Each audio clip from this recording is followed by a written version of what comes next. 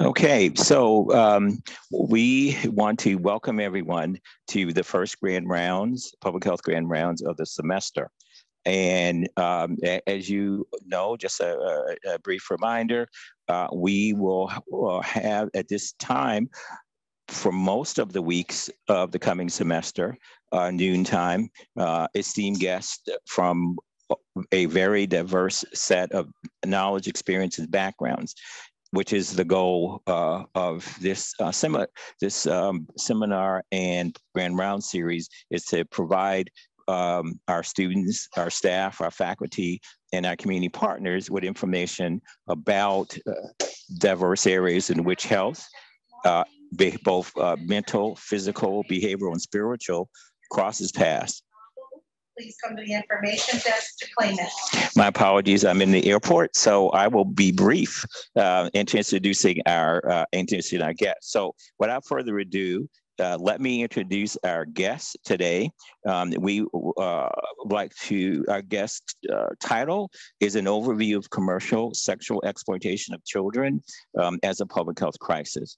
And we appreciate um, the two guests we have, Ms. Kathleen Cleveland Kennedy, um, who is from the state, is a statewide care coordinator for the CSEC response team, of the Children Advocacy Center of Georgia. And uh, her colleague uh, is Ms. Natasha McDowell, who is director of that response team um, and advocacy center in Georgia. So without further ado, I will turn the um, podium over to our guests. I'll let them add any additional uh, introductions or information about themselves, and we'll and I'll sign off. Oh, one more thing. I may have to leave a little early, so my colleague, Ms. Okaramati, will close out the session. Okay, without further ado, I am turning it over to our guests. Um, either one of y'all can go first, uh, as you all have uh, practice, I'm guessing. Awesome. Thank you so much. And um, thank you for having us this afternoon. So, um, as uh, he stated, my name is Kathleen Cleveland Kennedy. I am the statewide care coordinator with CACGA, the CSEC response team. And I'm joined today um, by our, with our director, Naeshia McDowell, who is our director for the CSEC response team. Uh, is actually joining us. She uh, has a background in public health herself. And so today we're excited to give you an overview um, of what commercial sexual exploitation is, talk a little bit about the vulnerabilities that are present that place youth at risk for CSEC victimization, and also look at this issue through a public health lens. I think a lot of times when people talk about commercial sexual exploitation, um, we know that you know there's a crime committed and that youth are being exploited and that it's definitely a safety and well-being and child abuse issue but it's also a significant public health issue as well. And so we're going to talk a little bit about that. And so um, to get us started off today um, we are going to just go over some objectives and then from there we're going to give a background about give some definitions um, about what csec is so you have a basic understanding of what csec and human trafficking is from there we're going to talk about some warning signs and some vulnerabilities that place youth at risk as well as understand some of the trauma and abuse and victimization that's associated with csec or commercial sexual exploitation of children We'll finish out by talking a little bit about what our response looks like and some of the um, different resources that are available to um, the community and, and, victims that have been um, that have experienced commercial sexual exploitation. So let's talk a little bit about what human trafficking is and what CSEC is. Um, let's see.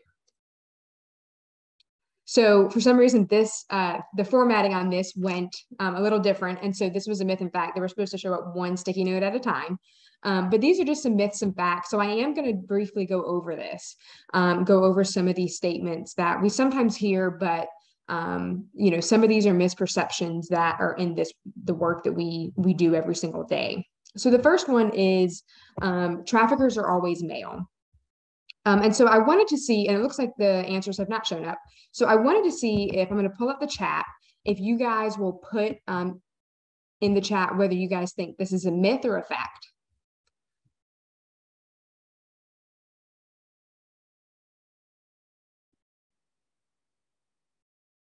I see a few myths.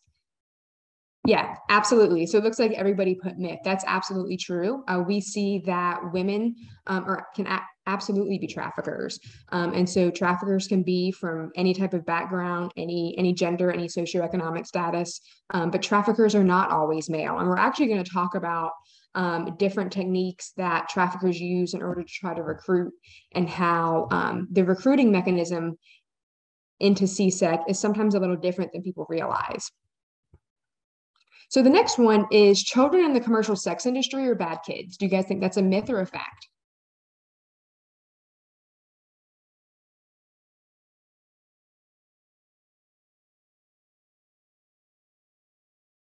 Myth, absolutely.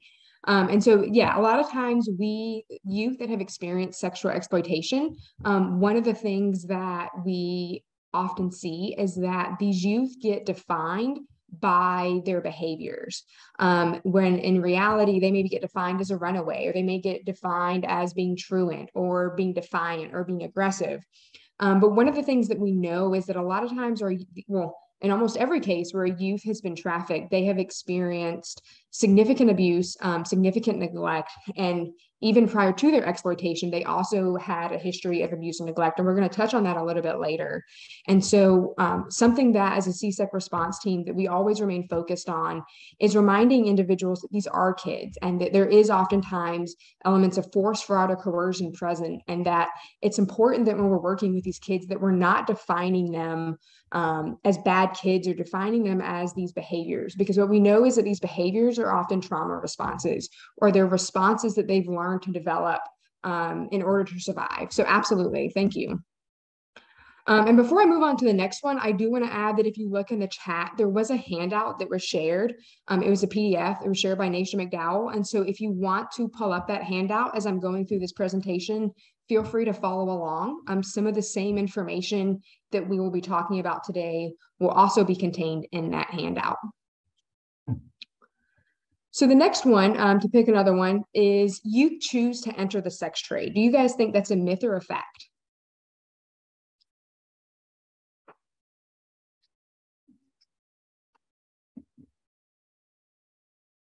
I see some myths. Yeah, absolutely. Um, many of the youth that we that we encounter are um, lured into CSEC victimization by individuals, often because there is a need that's not being met. Um, and there is a there's a famous quote um, by a survivor that said um, th- that talked about how you know when you're talking about you choosing to enter the sex trade, there must be some other viable alternative instead of that. And for many of these youth, even for youth that are engaging in survival sex to meet their own needs, they're doing so out of necessity, and they're doing so because there's often needs that are not getting met. Um, and they're being lured by traffickers and other individuals that are uh, you know, coercing them or giving them promises of something that um, they don't currently have, or giving them promises of, you know, something else that they're seeking to obtain. Um, we'll do one more, and that one is kids solicit sex because of a substance abuse disorder. Um, do you guys think that's a myth or a fact?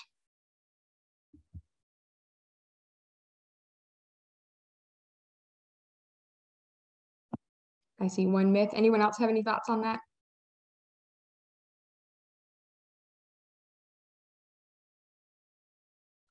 So this, I see another myth. So this one is interesting. And so um, oftentimes a substance abuse disorder can be a, a vulnerability that places youth at increased risk. And so there are instances that time the youth may engage in sexual acts in order to obtain substances. And so while um, so I would say that this one kind of falls in the middle of it's not necessarily completely true and it's not necessarily a myth. And so this one was kind of a trick one. Um, but there are situations where if you have a, a, you know a substance abuse disorder that places them at increased risk for uh, CSEC victimization because there may be individuals that approach them that are um, that recognize this vulnerability and are putting them in situations where in order to obtain these substances they may be addicted to they have to engage in sexual acts so thanks so much for, for participating with that. So now let's move on and talk about some definitions about what CSEC and human trafficking is. And so from looking over here at this chart on the left, commercial sexual exploitation falls under a larger umbrella of human trafficking. I mean, human trafficking can, can be defined as a crime that involves exploiting a person either for labor services or for commercial sex. And so then that brings you down um, to the two primary subsections of human trafficking, which is labor trafficking and sex trafficking. With labor trafficking, that involves the recruitment, harboring, transportation, provision, or obtaining of a person for labor um, or services by force, fraud, or coercion. So, some possible sectors that you may see this happen in, you could see this happen in the agricultural or construction industry. Um, you could also see it happen in the adult entertainment industry or even the nannying industry. And so, in these situations, these individuals, by force, fraud, or coercion, are being lured into performing labor or services, um, but they're being trafficked and they're being exploited for those services. And they're often either put in unsafe living conditions, not being paid, or being threatened um, with harm or deportation, um, things along those lines. Um, so with sex trafficking, it is similar, except instead of labor uh, services being exchanged, it is um, sexual acts. And so sex trafficking is defined when a commercial sex act is induced by force, fraud, or coercion, or when the person performing the act is under the age of 18. So in these situations, individuals um, are being forced to perform um, sexual acts, and there is an individual that's using force, fraud, or coercion in order for them to do it. And so let's then move on to talking about commercial um, commercial sexual exploitation of children, um, which is a subsection of CSEC. I'm sorry, of sex trafficking. Um, so, commercial sexual exploitation is defined as a sexual activity involving a child in exchange for something of value or promise thereof to the child or another person. So in this situation, the child's being treated as a commercial sexual object. And so I want to go back for a second and differentiate the definitions between sex trafficking and CSEC. So, with sex tra- trafficking, when we're talking about when law enforcement is pursuing sex trafficking charges with adults, that element of force, fraud, or coercion has to be present. However, when you're dealing with children, anytime that a sexual act is exchanged for an item of value, that's considered CSEC. And so, um, CSEC is a type of sex trafficking but again, when it's dealing with children, that element of force, fraud, or coercion does not have to be proven in a court of law in order for that youth to have experienced CSEC victimization. So next, let's move on and talk about where and how trafficking is occurring. I think one of the most common things that you know we hear when we talk to the community about sex trafficking or commercial sexual exploitation, something that comes to mind is often that video taken. Um, and that video often represents what most people think of when they think of CSEC or sex trafficking, and that's trafficker facilitated CSEC. And so with trafficker facilitated CSEC, that is where um, you have an individual, a group of individuals that is using elements of force, fraud, or coercion to force individuals to engage in sexual acts for items of value, most commonly money.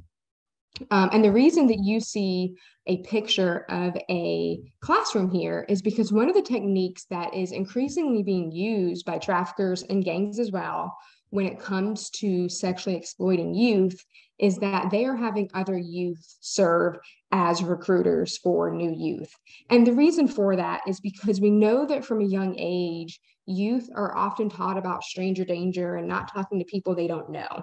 And so, one of the things that has really evolved um, you know, over the last couple of decades, several years, is that traffickers are having other youth that are already involved in CSEC and using them to recruit other youth in classrooms or youth in their communities, um, telling them, you know, telling them to convince them that, hey, um, I get all this new stuff, or you, there's this way you can make money, or you can go out to this, you know, to these cool places and hang out with these cool people. And so that's why you see um, a classroom is because more and more we're seeing the traffickers are utilizing youth as a means for recruitment um, to bring in new youth or new individuals. And so then you also see a picture of a computer. Um, and this is indicative of technology facilitated CSEC. And so we know that the internet, you know, smartphones, laptops, computers, that it makes our life much easier, right? We have access to information at the drop of a hat But we also know that there is a dark side to the internet and to social media and to the web in general. And so with technology facilitated CSEC, that is where um, explicit images or videos are being exchanged online for items of value. And so in this instance, you could have a youth that's exchanging explicit images with an individual and getting items of value in return, or an, another individual that is taking these images they've obtained and exchanging them for items of value online.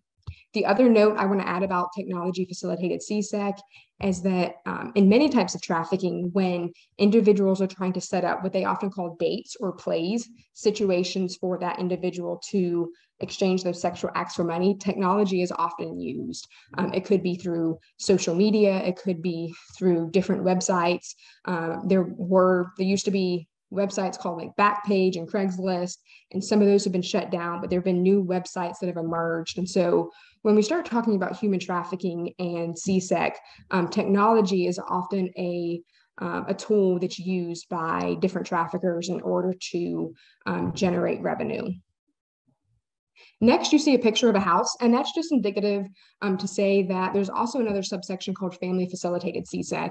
And with family facilitated CSEC, that's where um, there is a youth and one of their relatives is either exchanging sexual acts with that child for items of value or a situation where that relative is um, having that youth engage in sexual acts for others for items of value. A couple of very quick notes that I will say on this is that with family facilitated CSEC victims, these victims are often younger. So most of the youth that we work with are between the ages of 13 and 17. Um, many of the youth that are victims of family facilitated CSEC um, can fall between 6 and 13 years old. Um, and also, most commonly with family facilitated CSEC, about two thirds of the time, research tells us that it is, it is the mother that is the primary trafficker in family facilitated CSEC cases. You see the massage parlor, and that's just indicative of business facilitated CSEC. So in those situations, that's where you have a youth that may be participating at a strip club or massage parlor, and they are performing sexual acts at that business, and that business is profiting off of that exploitation, or they're turning a blind eye to it. We touched briefly on gang facilitated CSEC. The only thing that I want to quickly highlight about gang facilitated CSEC is that over the last 10 to 20 years, um, gangs have increasingly turned to human trafficking and sex trafficking as a means to generate revenue as opposed to um, drug trafficking or arms dealing. And part of the reason for that, unfortunately, is that they perceive it as less risky. But in addition, when you make a sale of a firearm or a drug, you can only make that sale one time and then that's it. Unfortunately, when you're dealing with human beings in a sex trafficking scenario, that individual can be sold multiple times um, a day, multiple times a week, and throughout you know the entire month or for several years. And then finally, you see the picture um, of a youth that's holding up a homo sign, and that's indicative of survival sex. And so with survival sex, that's where you have a youth that um, is not able to meet their own basic needs. Um, it could be a situation where the child left home or the child was kicked out of their home and they are forced to engage in sexual acts in order to um, be able to find shelter, have um, clothing and food, etc. And so moving on to talk about the impact, I'm now going to turn it over to Naeshia McDowell. Thank you, Kathleen. So briefly, we're going to go through just how this issue impacts the populations that we serve, which are children up to 17 years of age. And so we'll talk about who is impacted and how they're impacted. And the first slide that we wanted to sort of start with is, is the sexual abuse or the continuum of sexual abuse and CSEC. And so oftentimes it's, it's easy to assume that children sort of just fall into the life of exploitation or uh, sex work for those who are adults, but there's often sort of a continuum that leads them down this path or makes them more susceptible uh, to exploitation. So, patterns created as a result of unresolved childhood sexual abuse, for example, such as failure of trust, keeping secrets, viewing oneself as a sexual object, blurred boundaries, linking sex with love, even feeling helpless and angry, acting out, can all lead to CSEC vulnerabilities. And CSEC is a significant risk factor for, um, or I'm sorry, sexual abuse is a significant risk factor for CSEC in that 70 to 90% of sexually exploited children have a history of childhood sexual abuse.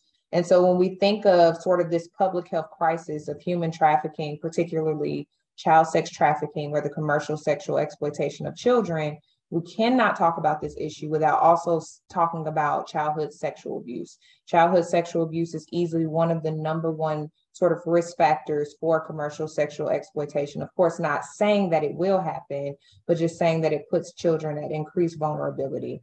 And those statistics, the statistic I just shared is national. However, it rings true for our, our children here in Georgia as well. That data is consistent with the children that we serve here across the state of Georgia. Next slide. All right, so we all are, are familiar for the most part with Maslow's hierarchy of needs, right? And so when we think about sort of a public health approach to addressing commercial sexual exploitation, we have to think about on a basic level why are children and even adults falling victim to this issue? And so we have to think about Maslow's hierarchy of needs and the basic elements and needs that we all have as human beings, those being self actualization, esteem, love and belonging, safety, freedom from fear, and psychological needs being met. And so, one of the things that we point out is that many sex traffickers will lure their victims by providing basic survival needs. So, those three prongs, those three bottom prongs here that are most important in, in this sort of Maslow's hierarchy of needs are being addressed by exploiters. And they may sort of systemically provide distorted versions of higher needs to manipulate the victims. So they may use threats, force, and coercion. Traffickers may exploit the fact that for many victims, the life, which refers to uh, unfortunately the victimization of exploitation, may be their first experience of family and belonging. And so we have many youth that will tell us, hey, I was being you know, abused or raped at home. And my trafficker told me I might as well get paid for it. So I re- left home without permission or ran away, joined this person who, for the first time, told me they loved me, provided me with all the basic resources that I needed, and gave me sort of a family that I never had at home. And we know that's not always the case for all of the victims that we work with, but for a significant portion of the children that we serve, there was often a, a portion of this sort of hierarchy of needs that was missing from their life that the trafficker then provided and unfortunately exploited. And so we have a quote here uh, from one trafficker who said that my job was to make sure she has what she needs, or my job is to make sure she has what she needs personal hygiene, get her nails done, take her to buy an outfit, take her out to eat, make her feel wanted, but I keep the money.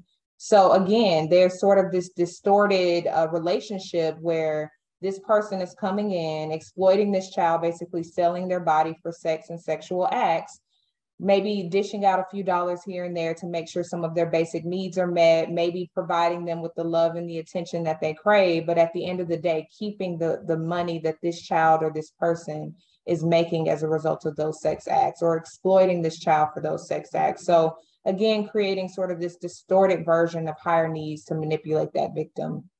And so we, we like to share this because it's so easy to ask ourselves, well, how did the child fall into this issue of exploitation? Why didn't they ask for help? And oftentimes, Maslow's hierarchy of needs helps us to explain that even further.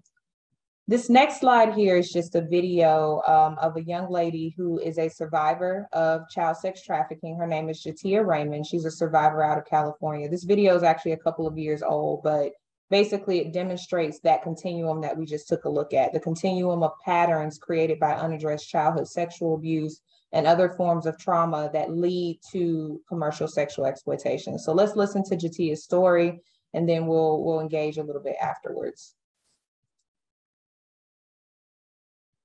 I'm trying to tell you what I see in myself when I look in the And Kathleen, I don't think we can see the video. You have to slide it over.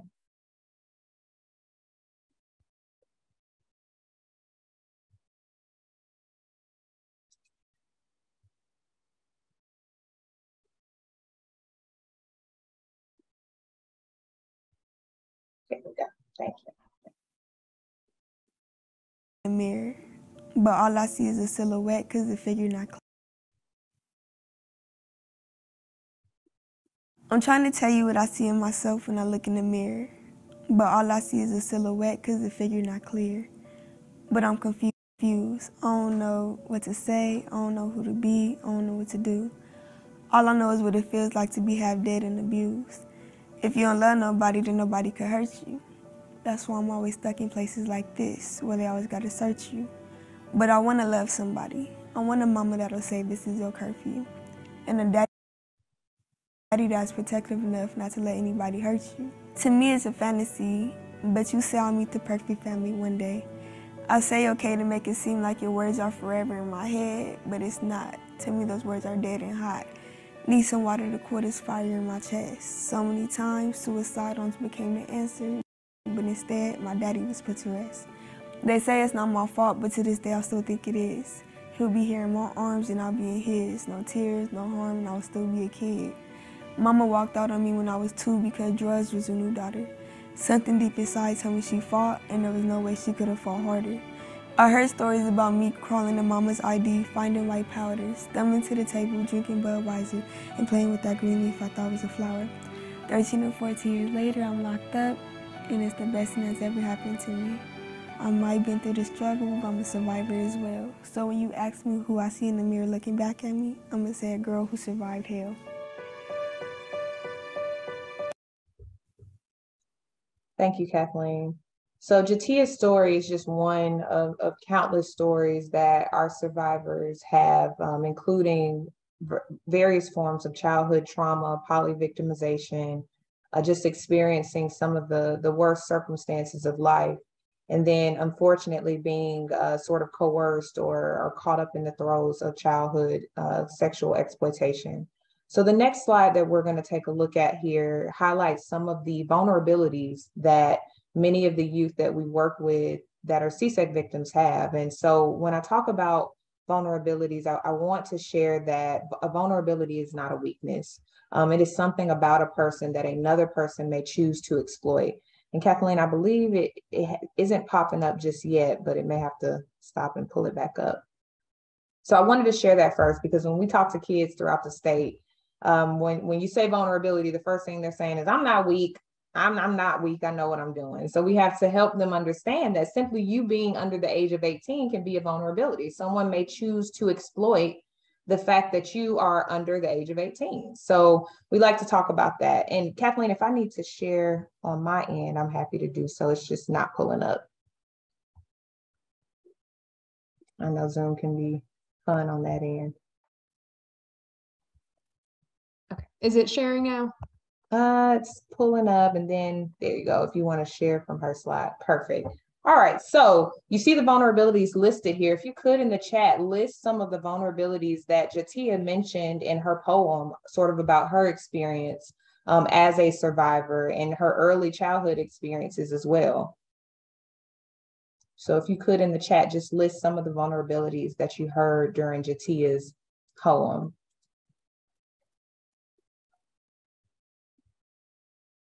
loneliness, abandonment from her mother, absolutely. A family history of substance use, absolutely. And Jatia had direct access to these substances, unfortunately, and um, uh, certainly suffered as a result of having access to those substances. Guilt over her father's death. Thank you. So these are all vulnerabilities that unfortunately can lead to exploitation for some of the kids that we work with. And so we we like to highlight these things because the stage of adolescence, as I said before, is a vulnerability, creates vulnerabilities for our young people.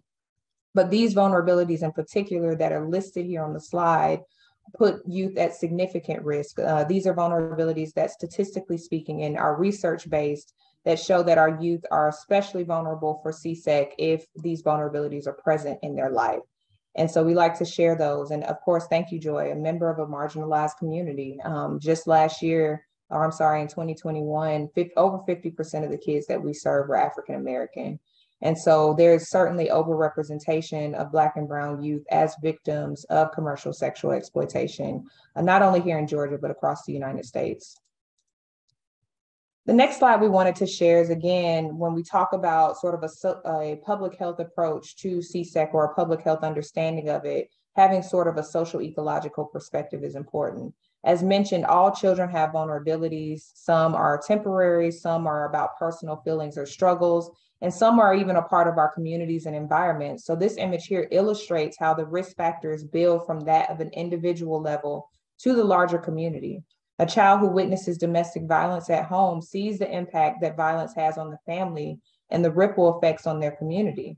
And so when we look at CSEC, just a child's age, as we said, being under 18, particularly being between the ages of about 12 to 14, puts a youth at significant risk. Uh, if that youth is homeless, experiences homelessness, or leaves home without care, that can, of course, be a risk factor. But then when we go to the interpersonal level, dysfunctional family dynamics, child maltreatment, those are additional interpersonal factors that can put a kid at, at risk. Community level factors include poverty, the experience of poverty, uh, social values and norms. So maybe this, this community is prone to violence and other forms of trauma. And then on the societal level, how is capitalism playing into this issue? When we look at the sexualization of children um, in TV and media and, and music, how is that also contributing to the issue of CSEC? So we like to share this because it's easy to blame victims, it's easy to parent blame, but at the end of the day, we all have a role in how this issue is being exacerbated and how we can also come to the table and make sure that it's addressed properly. We like to share this statistic here because oftentimes we'll get questions, what is the average age? And the average age of entry into commercial sexual exploitation is 12 to 14. That is oftentimes the age at which we identify youth. However, statistics and research shows that youth are often exploited up to two years earlier than we actually identify them. So we actually need to be looking at kids as young as nine and 10 years old when we talk about prevention education, when we talk about intervention methods, uh, we need to go a little bit more upstream and make sure that children are being educated properly and in an age appropriate manner earlier and earlier. The human trafficking power and control wheel is sort of the answer to the question why didn't the child just leave? Why didn't the person just leave? And please understand that asking such questions is harmful to victims, and let's sort of explain why. Each spoke here that you see on the human trafficking power and control wheel is a method that a trafficker uses to maintain undue influence over a victim. So imagine being a developing young person. So we're talking about someone between the ages of 10 and 14 who's dealing with maybe their own trauma at home on a, a daily basis who is now experiencing economic abuse, intimidation, emotional and sexual abuse on a daily basis. Most adults would have a difficult time uh, sort of escaping a situation like that, much less a young person. So let's talk about what Georgia is doing. I, I, know this is heavy information and it's easy to think that what can I do as a public health professional, as a student of this work? Um, but just know that you are in a state that is taking strides to address this issue on a, on a daily basis. So one of the, the things that we pride ourselves on as a response team is that we use a multidisciplinary approach to commercial sexual exploitation of children. What does that mean? That means that every person who needs to be at the table in terms of the child's treatment and recovery plan is at that table. That includes law enforcement, forensic interviewers. These are the people that are speaking to the children about these experiences that they've had with commercial sexual exploitation. Our child welfare professionals, advocates, mental health professionals, district attorneys' offices, all of those folks are at the table as we're coordinating treatment plans for the kids that we're serving. And that means that no person is sort of being left out, no entities such as our medical professionals are being left out of the equation um, no person from law enforcement who is often involved in the recovery is being left out of the equation as well. Our response also prioritizes medical services.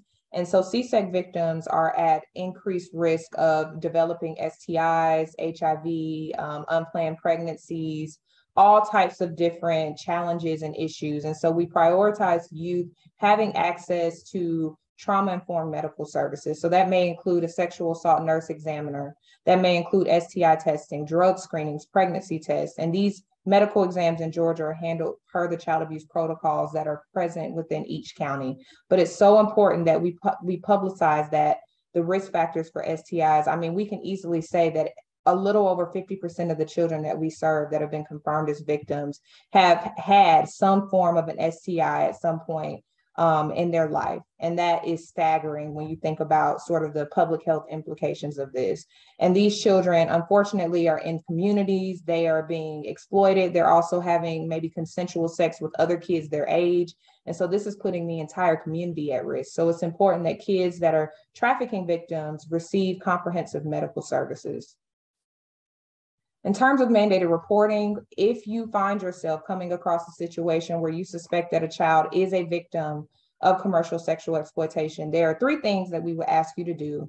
Um, one being, of course, as, as someone in an emergency situation, if there's impending danger or you see that the child is actively maybe being trafficked or you're um, afraid for their safety, we say call law enforcement immediately, call 911. Do not get yourself involved. Do not try to intercede on behalf of that victim because that could put you and other community members at risk. So if, if it's an impending danger situation or it's happening currently, please call 911. However, if it's a situation where you have suspicions or concerns, we encourage you to, of course, make a report to DFACS but you can also call our team at 1-866-ENDHTGA. That's 1-866-363-4842. We're option two on the hotline and make a referral. We work closely with our child welfare partners and with law enforcement. So when you make a report to DFACS, that information comes to our team and vice versa. We also make reports to DFACS as well on behalf of community members that maybe didn't make a report. But we encourage you to have all of the contact information of these various agencies so that way you, you have multiple options in the event that you need to make a referral or a report. In terms of statewide data, we like to sort of give you a snapshot of just how many youth that are at risk of trafficking in the state of Georgia. So in 2022, we received 213 hotline calls, 574 web referrals. So we have a HIPAA compliant web referral form on our website where folks can make referrals and most of our partners will go through the website. And we served 813 youth in the state of Georgia. Now, not all 813 youth were confirmed as CSEC victims, but all 813 youth had some form of risk factors for commercial sexual exploitation. And we're talking every part of the state, as far north as um, Fannin County, as far south as Lowndes County. Uh, so we have to just understand that this issue is not a metro Atlanta issue. It's not a city issue. It's a state of Georgia issue. And you do have professionals doing what we can to address it throughout the state. I'm going to toss it back over to Kathleen to finish up with some prevention. Thanks, Naeshia. So with the prevention, we're going to talk about um, how do we prevent this issue. Um, one of the things that we know is we were we become we became the statewide um, enhanced collaborative model response for responding to commercial sexual exploitation in 2020. And since that time, year over year, we have seen an increase in the number of children that are being exploited and that are being trafficked. The other thing that we know is Naeshia talked about how we served 813 youth last year, but something else that we know about this problem is that it's still a problem that we can't fully see. We know that it was significantly more than 813 youth that experienced commercial sexual exploitation, um, and that the nature of this problem can sometimes be hard to identify and hard to find due to the force, fraud, and coercion that's involved with it, the secrecy that these youth are, are asked to keep, um, and the fact that there's often um, organized criminal networks that are involved in this that have a vested interest in preventing these individuals from being identified. And so when we talk about, before we talk about some of the um, you know, moving more upstream in terms of prevention, I want to highlight some red flags that um, could indicate uh, that a youth could be um, at risk or could be possibly being exploited.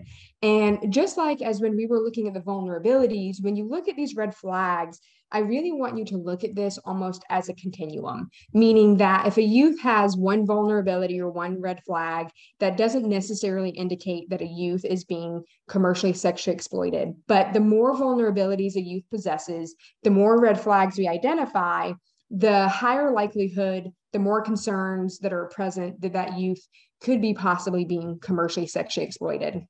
So, chronic runaway youth. Um, I think this one's pretty straightforward because we know if a youth is running away, that they likely don't have um, consistent means to be able to meet their basic needs. So that opens uh, doors for adults and traffickers to approach them um, with that promise, as, as Naeshia talked about, that Maslow hierarchy of need for them to come in, promise those basic needs, um, but then force them into exploitation distinctive tattoos, especially ones that youth are not willing to disclose how they got them or the meaning of them, certainly can be a concern. signs of physical abuse. Um, previously, we went over the human trafficking power and control wheel. And so, in addition to the sexual abuse that these youth um, sustain on a daily basis as part of being trafficked, um, they oftentimes are physically abused, not only by traffickers, but, but by, by buyers as well.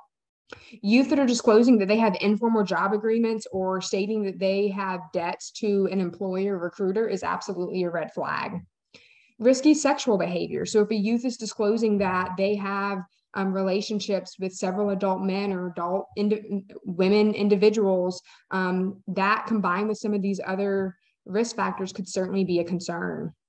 If a youth has sudden new goods or services, if the youth is coming in with expensive nails or hair, they're coming in with new handbags or new clothes that are unexplained, and we know that they were not provided by their family of origin, that certainly could be a concern. And then isolation from peers and sudden changes in behavior. That one again can be difficult because I think part of the teenage experience, youth sometimes have sudden behavior changes, and some of that's just part of the teenage experience. Um, and sometimes we know that youth may change friend groups or change peers, but if you start seeing those and they become they they escalate and it's it's out of the norm and especially if it's accompanied with any other vulnerabilities or red flags um, that's certainly a, an indicator and that may indicate that there is need for assessment and possibly intervention so now let's start talking about different approaches to how we address this issue. Before I go into this though, I do want to share a video um, that kind of talks about what it means to address an issue upstream versus downstream. So I'm going to stop sharing and share a new screen so that we can share this video.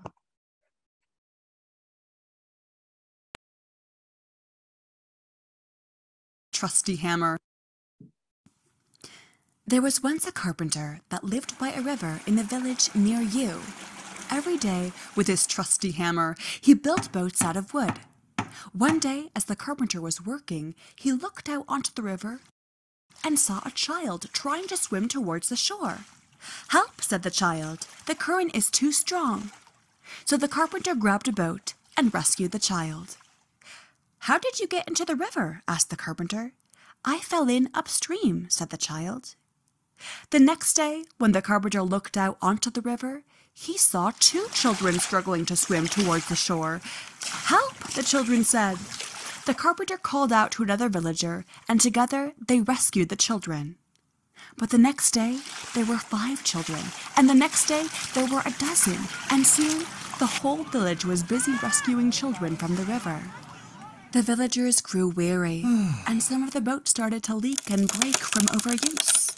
The carpenter worked tirelessly to repair them, but as the number of children in the river grew, soon there weren't even enough boats to get the job done.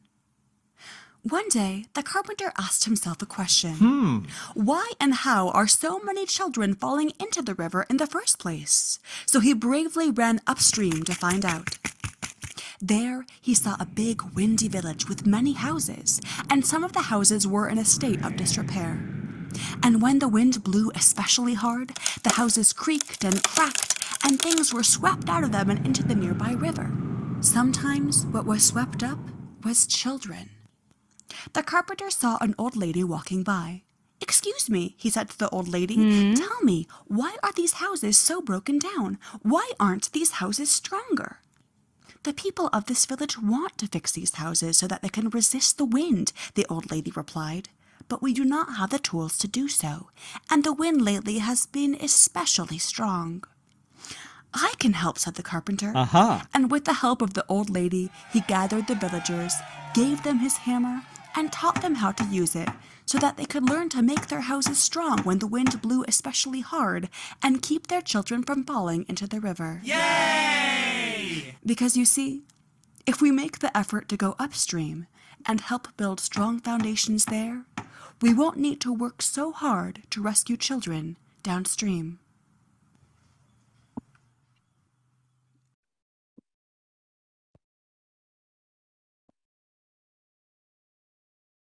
And so that just highlights um, that when we're talking about this issue of commercial sexual exploitation in transparency, when we're looking at it from a state issue and even a nationwide issue, many of the efforts that are being made by states and by our nation are what we'd classify as downstream efforts. And, and part of that is because this is a relatively um, new um, not new concern and that it hasn't happened before, but it's really emerged as a much bigger crisis than we initially thought.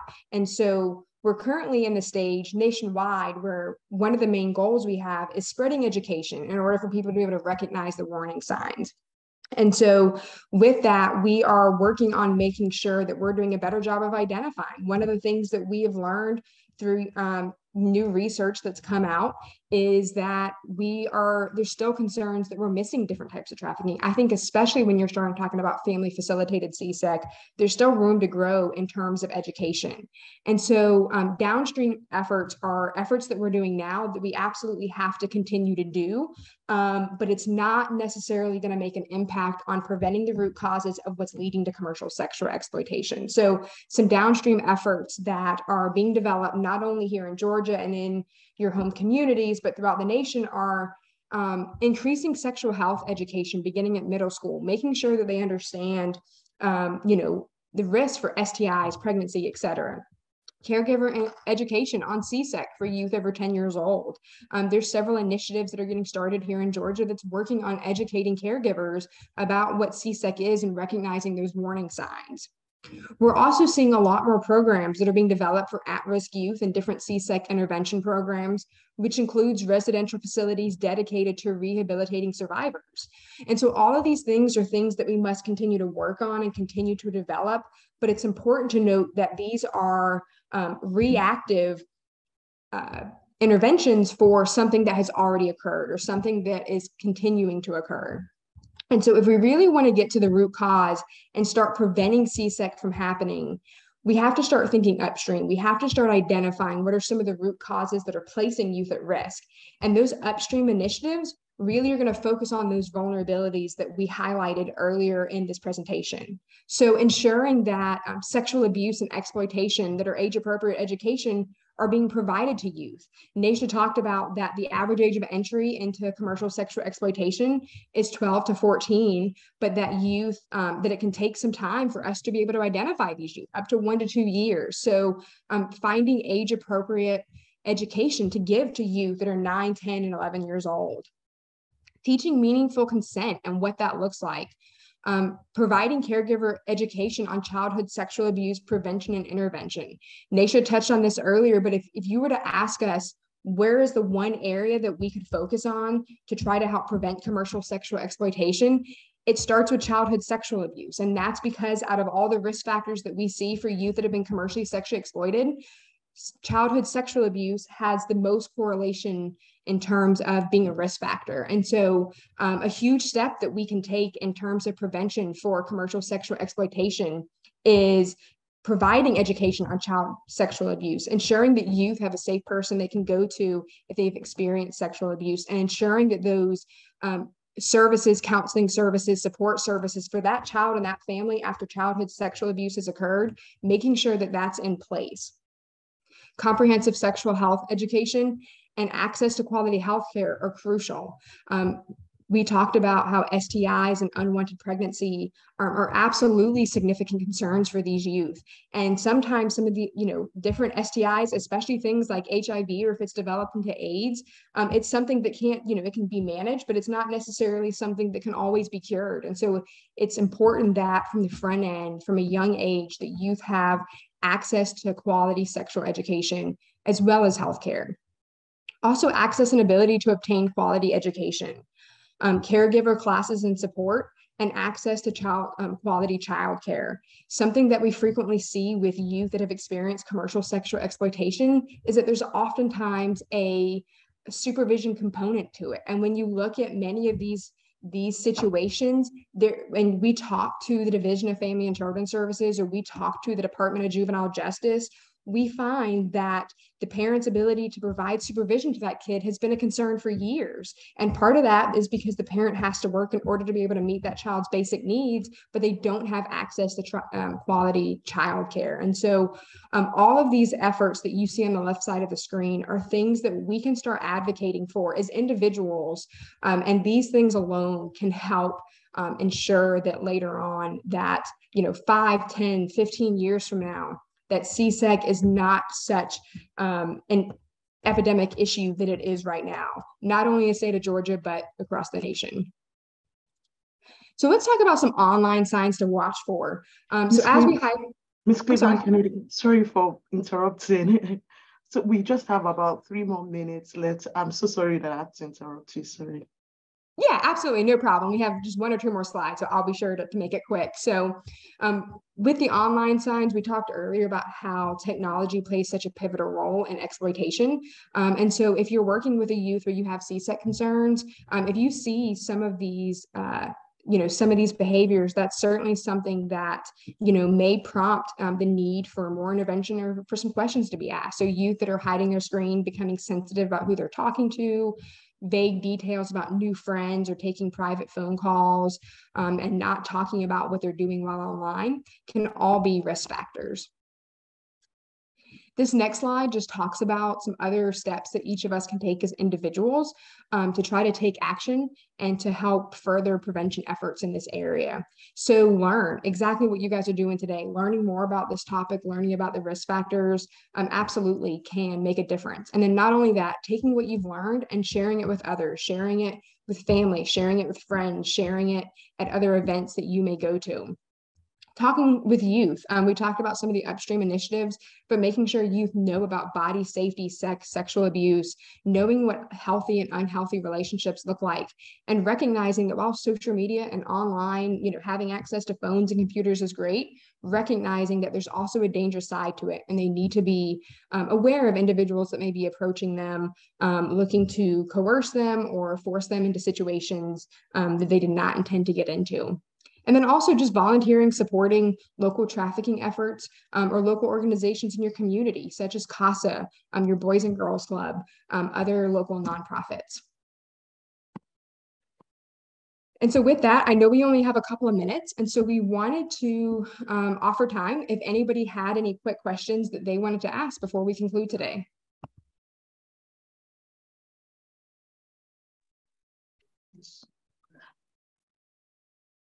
Okay, thank you so much, Ms. Cleveland Kennedy, for that awesome presentation, I must say, well detailed. And also, Ms. Uh, Naeshia McDowell, we do appreciate your time and we value the well detailed and very enlightening presentation you gave us.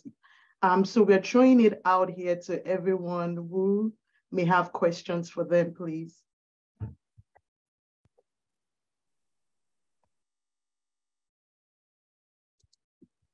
And I just want to add, we appreciate you having us today. And on this slide, our contact information um, is there. So if anybody has any questions later on, um, we're happy to answer any questions um, even after this presentation.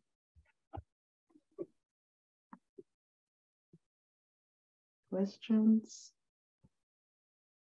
There was a lot of content to throw at y'all. but I must say they were very well, it was very enlightening very, very enlightening. Um, do we have any questions? I will presume.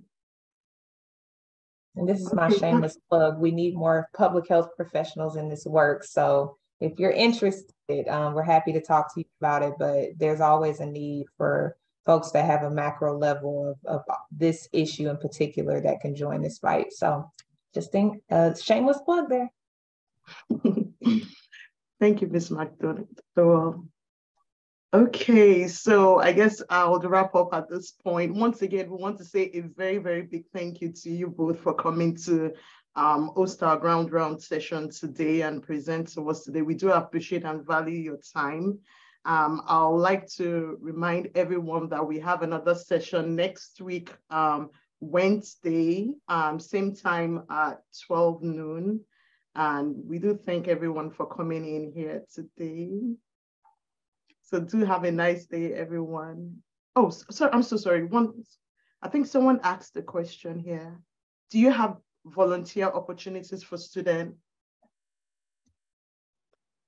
Yeah, absolutely. So, so right now we don't, we do have internship opportunities that we have where we work with different universities for internships. Um, we currently for the CSEC response team, just due to the sensitivity of the, the data and the information that we have, we don't have any um, pure volunteer um, volunteer opportunities. I know we have we partner with child advocacy centers throughout the state, and oftentimes um, local child advocacy centers may um, have different volunteer opportunities. I know in Bulloch County, the uh, CAC there is the Teal House. I know that Coastal CAC is also the CAC in Savannah, so they may also have volunteer opportunities, but we certainly do have internship opportunities um, available um, for students that are interested. Okay, thank you. Thank you for telling us that. I think that question came from Miss Kathleen. Okay. All right, then I guess we'll wrap up for today. Thank you so much. Do enjoy the rest of your day, everyone. Bye-bye.